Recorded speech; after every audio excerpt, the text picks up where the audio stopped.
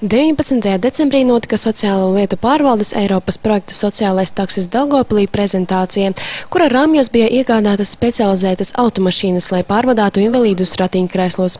Pasažieru ar īpašām vajadzībām drošība tiek nodrošināta ar siksnām, kuras fiksē ratiņkrēslu, kā arī modelēts pacēlājs, kas izpilda aizsarga funkciju starp automašīnu un cilvēku. Šī projekta realizācija notiek Lietuvas un Latvijas pārobežas projekta rāmjos, un ja priekš mums sociālais taksis ir jaunums, tad lietuviešu kolēģi kolēģi realizē šo projektu jau piecus gadus.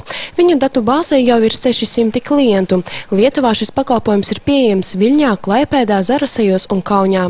Bet pats galvenais, ka lietuviešu sociālo taksi var izmantot arī Daugopils invalīdi. Piemēram, ja cilvēkam ir jānokļūst uz Viļņas lidostu, Daugopilī uz autoostu vai vilciena stāciju viņa nogādā mūsu sociālais taksis. Bet Viļņā viņu sagaida lietuvieši un nogādā uz konkrēto vietu. Šī iespēja ir pieejama, jo ir sastādīta vienota informācija informācijas sistēma. Kopumā Daugupilī ir uh, 250 uh, cilvēki, kuri pārvietojas ratiņkrēslos. Ja? Un mēs plānojam projekta ietvaros, ka šo pakalpojumu izmantos uh, 60 cilvēki un kopumā būs 600 braucieni. Sociālais taksis ir jaunums Daugopils sociālietu pārvaldes pakalpojums, kas pēc sociālā darbinieka Tatjānas Jurānas teiktā Daugopilī būs pieprasīts. Šo pakalpojumu var uh, izmantot uh, personas, kuras pārvietojas ar ratiņkrēsliem, pirmās un otras grupas invalīdi.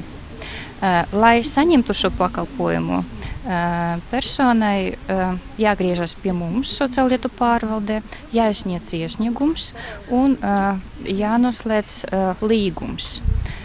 Līguma būs norādīts parolē, ar kuru palīdzību uh, cilvēks eh, var reģistrēties mūsu sistēmā. eh, un izmantot tālāk šo pakalpojumu. Ja cilvēkam nav pieejams internets, tad sociālo taksi varēs izsaukt pa tālruni, kas būs norādīts līgumā.